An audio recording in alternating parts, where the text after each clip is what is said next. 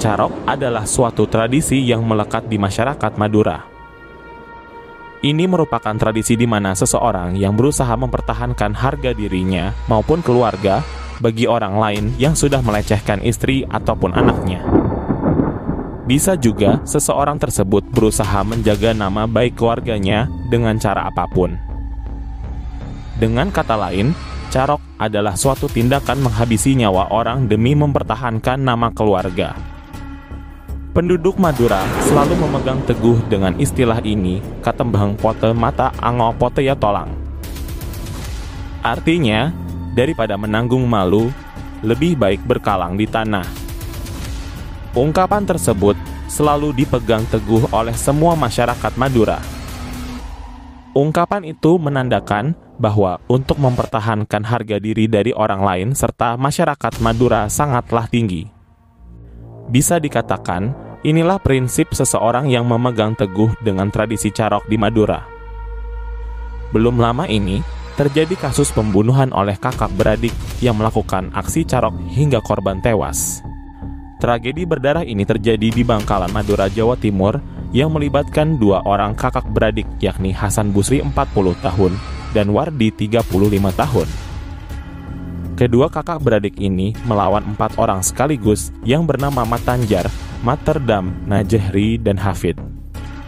Keempat orang yang bertarung melawan Hasan Busri dan Wardi itu tewas seketika. Anehnya, Hasan Busri disebut tidak mengalami luka sama sekali setelah bertarung melawan empat orang tersebut.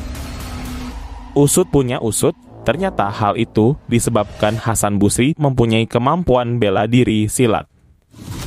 Hasan diketahui ia pernah berguru dan belajar silat ketika ia sedang merantau di Kalimantan. Hal itulah yang membuat Hasan Busri semakin berani mentantangan Mat Tanjar si guru silat untuk berduel. Padahal, pria bernama asli Hasan Tanjung bin Wardi itu sempat dilarang oleh ibundanya. Akan tetapi, dengan sosok guru yang mengajarkan Hasan silat di Kalimantan itu masih misterius. Materdam dan Matanjar adalah seorang kakak beradik. Keduanya tinggal di desa Larangan. Begitupun dengan Najahri. Sedangkan Hafid merupakan warga desa Banyu Anyar. Dalam kesehariannya, Hasan Busri memang sudah mengetahui tentang sosok Matanjar dan Materdam. Menurut informasi yang dimiliki Hasan, Matanjar merupakan seorang penjaga tambak Selain itu, menurut Hasan Busri, Matanjar kini berprofesi sebagai guru silat. Sedangkan Hasan Busri sendiri yang kesehariannya berprofesi sebagai tukang parkir. Sebelum duel carok terjadi, mereka sempat cekcok di pinggir jalan diduga ada masalah pribadi dan masalah lahan parkir. Peristiwa itu bermula ketika menjelang maghrib, Hasan bersiap-siap untuk menghadiri tahlilan Tiba-tiba Hasan Busri berpapasan disilaukan dengan cahaya lampu motor yang melintas dari arah selatan. Kemudian yang datang ialah Matanjar dan Materdam yang mengendarai sepeda motor dengan laju yang sangat kencang. Di situ Hasan Busri merasa terganggu, lalu Hasan Busri menegur keduanya. Akan tetapi mereka tidak terima dengan teguran Hasan Busri. Akhirnya Matanjar dan Materdam memberhentikan motornya. Lalu keduanya menghampiri Hasan Busri dan membentak Hasan Busri dengan keras. Tak hanya itu, Matanjar juga melayangkan pukulannya di bagian wajah Hasan Busri. Sementara Mat Terdam memegang tubuh Hasan Busri. Karena tubuhnya dipegang, Hasan Busri sama sekali tidak bisa melawan. Akhirnya terjadilah percekcokan di TKP. Kemudian Hasan Busri pulang dan menantangnya duel dan meminta Mat Terdam dan Mat Tanjar menunggu di lokasi. Dengan melontarkan kata-kata dan tos dinak artinya tunggu di sini. Lalu Hasan Busri pulang dengan bertujuan untuk mengambil celurit di rumahnya. Ketika hendak pulang, Hasan Busri berpapasan dengan adiknya itu bernama Wardi ia mengajak Wardi untuk ikut sambil menceritakan dirinya habis dipukuli oleh Matanjar dan Materdam. Lalu keduanya bertindak mengambil celurit di rumahnya dan kembali ke lokasi. Setibanya di lokasi, ternyata tidak hanya Matanjar dan Matterdam yang ada di lokasi. Di sana, mereka sudah berempat. Sudah ada dua rekan lainnya, yaitu Najehri dan Mat Hafid. Tanpa basa-basi, Hasan dan Wardi langsung berlari dan menyerang Matanjar dan rekan-rekannya dengan celurit secara membabi buta. Hasan membabat Matanjar dan Matterdam sementara Wardi adiknya menyerang Najahri dan Mat Hafid. Dan terjadilah duel carok dua lawan empat.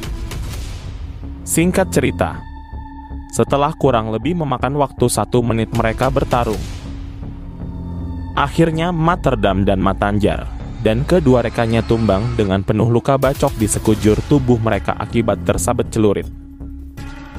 Mereka terkapar dan meninggal dunia di lokasi dan keempat korban itu kemudian dilarikan ke RS Syarifah Ambamir atau Abu Bangkalan dan menjalani otopsi dan jasad mereka semua sudah dikebumikan. Akhirnya, polisi bergerak dan berhasil menangkap Hasan Busri dan Werdi. Kakak beradik itu ditetapkan sebagai tersangka dan ditahan. Keduanya dijerat dengan pasal 338 Kitab Undang-Undang Hukum Pidana tentang Pembunuhan.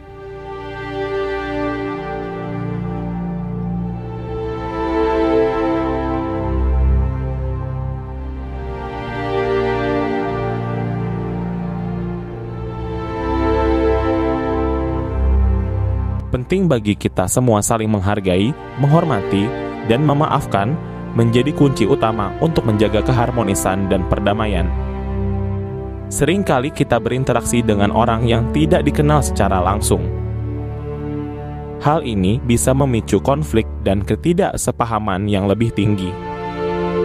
Oleh karena itu, penting bagi kita untuk selalu bersikap bijak dalam berinteraksi dengan orang lain, terutama dalam ruang digital saling menghargai, menghormati, dan memaafkan bukan hanya penting dalam kehidupan bermasyarakat, tetapi juga dalam kehidupan pribadi kita. Sikap ini bisa membantu kita menjadi manusia yang lebih baik dan lebih memahami sesama. Kita semua memiliki peran penting dalam menjaga harmoni dan perdamaian dalam kehidupan bermasyarakat. Oleh karena itu, Mari kita jaga kebersamaan dan persatuan dengan saling menghargai, menghormati, dan memaafkan satu sama lain.